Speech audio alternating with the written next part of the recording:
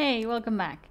So what we did so far was to work with the data, right? We imported our data, we looked if there were any problems with it, we transformed it in such a way that we will be able to use it for our problem.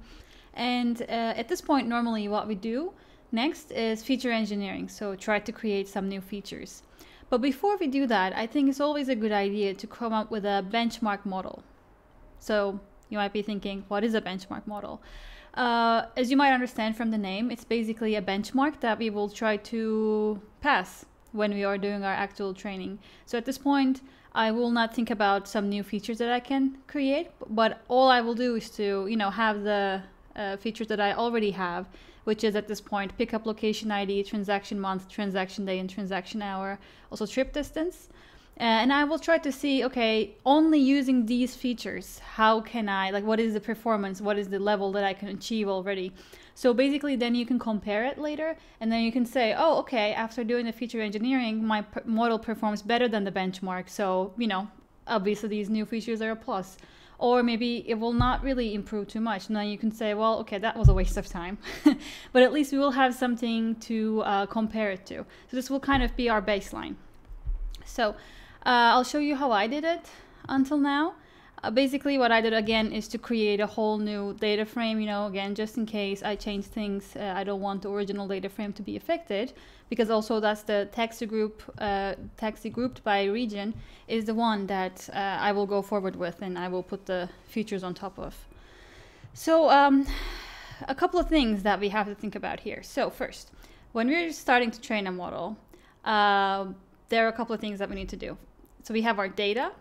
And the first thing that we need to do is to decide which ones are the input features. So basically, if you think of your model as a black box, the things that will be inputted, the features, and then the target feature. So that's the thing that we are trying to predict. So in our case, this is how I did it. I wanna, I always write the categorical features separately, you know, just in case I wanna have them noted somewhere. Uh, it's pick, uh, pickup location ID, transaction month, transaction day, and transaction hour. So um, you might think that, okay, but month, day, and hour is actually, uh, they're numerical. Why are we writing them, including them in the categorical one? Because, you know, our month, we only have one. So that's also not going to be very useful just for the specific data set. But once we want to uh, include other months, it will be more important. Um, but day and hour are actually the most important uh, time-wise features here. But the reason that I have them in the categorical is because they have a, a circular relationship. So, you know, hour zero comes right after hour 12 and but that's really hard for a model to know if you don't give that information in.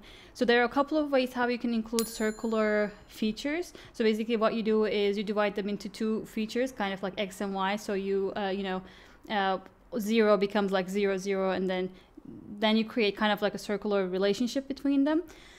Uh, but I didn't want to do it just here, so I just wanted the model to think that you know every hour is a different entity and I don't want to think of like a relationship between the hours. Same with days, you know, after the 30th or the 31st day, normally what happens is day first comes of the next month, but it, will be more work to include it in the model. So just for now, I didn't want to include it and I wanted to keep them as categorical features. Then we come to our input features where I also uh, noted down my numerical feature. So it's everything, all the ones that are here, and the trip distance. Well, trip distance is number of miles. So, you know, there's a linear relationship there. So I kept it that way.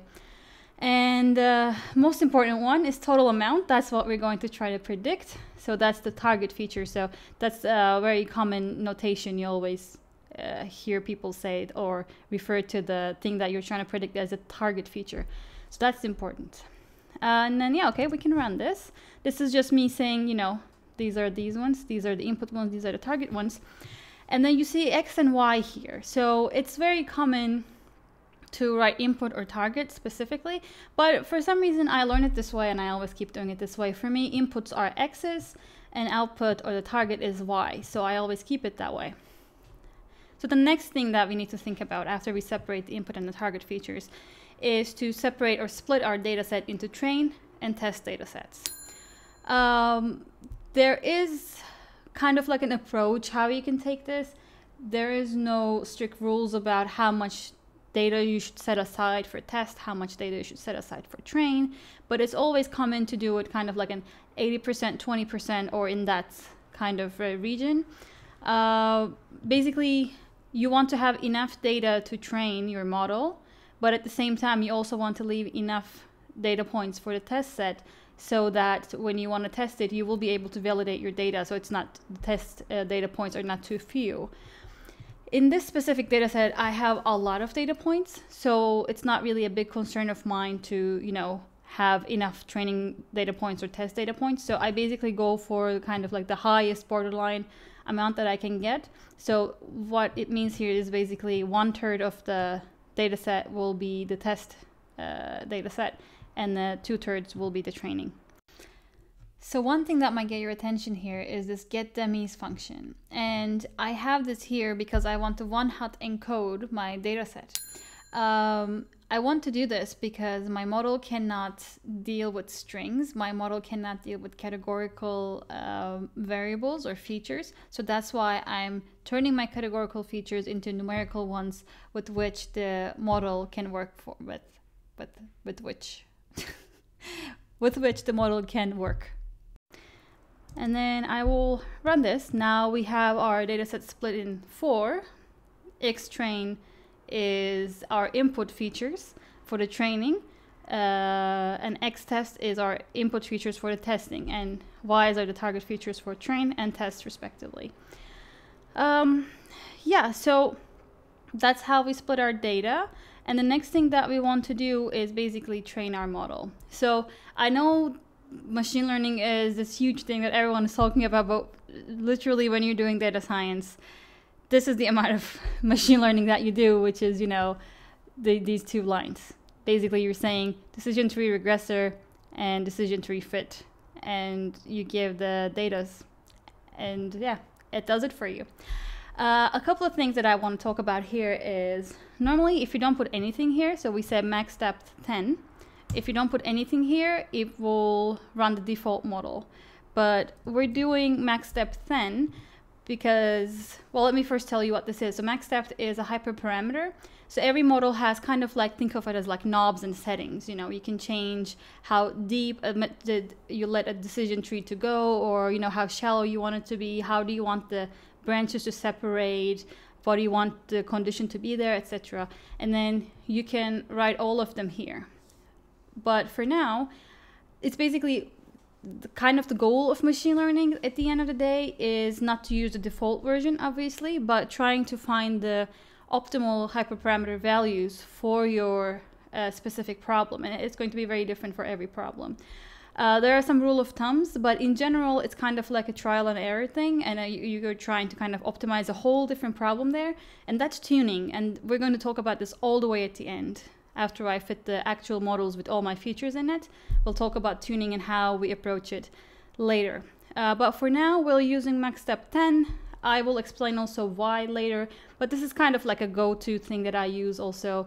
It's just, uh, th th these numbers are very hard to understand. Um, so, you know, it's sometimes confusing. You're like, okay, but what is the difference between having 100, 10, or 10,000? But yeah, we'll talk about this in more detail soon. So for now, I want to have a max depth of 10. And yeah, the model is already trained. So the next thing we're going to do is to evaluate the model and see how we performed.